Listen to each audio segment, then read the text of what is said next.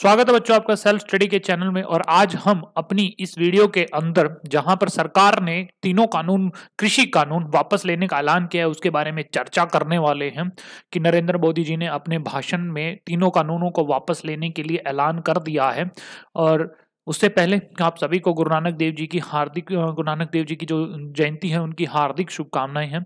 उनके द्वारा ये जो बात कही गई है, यहाँ पर लिखी हुई है कि गुरु के द्वारा ही आपके जीवन में प्रकाश संभव है। गुरु उपकारक है, पूर्ण शांति उनमें निहित है।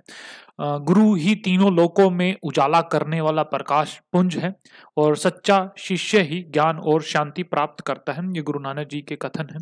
तो आप सभी को गुरु नानक देव जी की जयंती की हार्दिक शुभकामनाएँ हैं और अच्छे से इसको अच्छे से सेलिब्रेट करिए। अब इस पावन दिन के ऊपर प्रधानमंत्री नरेंद्र मोदी जी ने अपने तीनों कानून, अपने भाषण के अंदर तीनों कानूनों को वापस लेने का ऐलान करते हुए कहा है कि वो अब शीतकालीन, जैसे सत्र स्टार्ट होने वाला है पार्लियामेंट का, संसद का तो वहाँ पर वो इन तीनों कानूनों को वापस लेने वाले हैं। अपने भाषण में इन्होंने ये बात बोली है कि तीनों कानून अब वापस लिए जाएँगे रिपील किए जाएँगे। आप लोगों को तीनों कानून के बारे में नहीं पता है। तो यहाँ पर वो चीज़ें लिखी हुई हैं कि पहला जो कानून है farmers produce trade and commerce promotion and facilitation act 2020 के अंदर फार्मर्स एम्पावरमेंट एंड प्रोटेक्शन ये था। Agreement of price assurance and farm service act 2020 और इजेंशियल कम्युनिटीज अमेंडमेंट एक्ट 2020 ये तो तीन कानून आए थे जिसका लगातार विरोध चल रहा था। किसान बैठे थे इनका विरोध करने के लिए।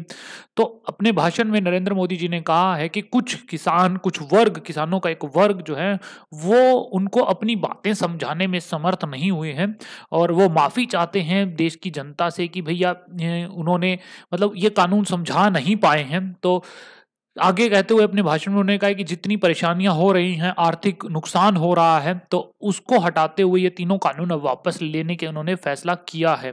काफ़ी सारे लोगों ने अभी तक बैठे हुए हैं वो ये कह रहे हैं कि जब तक ये कानून पूर्ण रूप से वापस नहीं हो जाता पूर्ण रूप से का मतलब होता है कि जब तक पार्लियामेंट में पास ना हो जाए पार्लियामेंट में देखिए कोई चीज़ पहले यहाँ पर कानून जब रूप लेती है तो वो तीनों दो, दोनों सदन से पास होती है यानी लोकसभा और राज्यसभा से वो पास होती है फिर राष्ट्रपति की मुहर लगती है, तब जाके वो कानून बनते हैं। तो एक संवैधानिक प्रक्रिया है और उसी संवैधानिक प्रक्रिया से भी इस चीज़ को गुजरना होगा। अगर ये कानून वापस लेने हैं तो यहाँ पर ये लोकसभा में और राज्यसभा में दोनों में पारित होकर, राष्ट्रपति के साइन होकर फिर से ये एक तरीके का मतलब इसको हटाया जाएगा।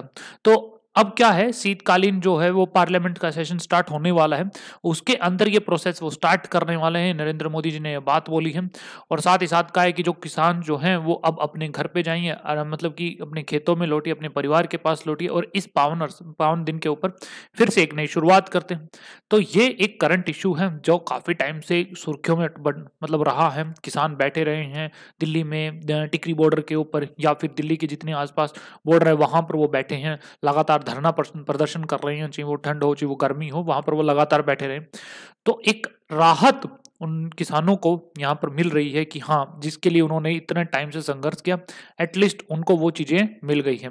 तो बस आज के लिए इतना ही था। आप लोगों को इतनी ही चीज़ें मुझे डिस्कस करनी थी। आगे चलकर जो भी होने वाला है, वो आप लोगों को यहाँ पर पता चल जाएगा इस चैनल के ऊपर। तो सब्सक्राइब करिए लाइक करिए वीडियो अगर आप लोगों को पसंद आई है तो बस आज के लिए इतना ही था। Thank you for watching this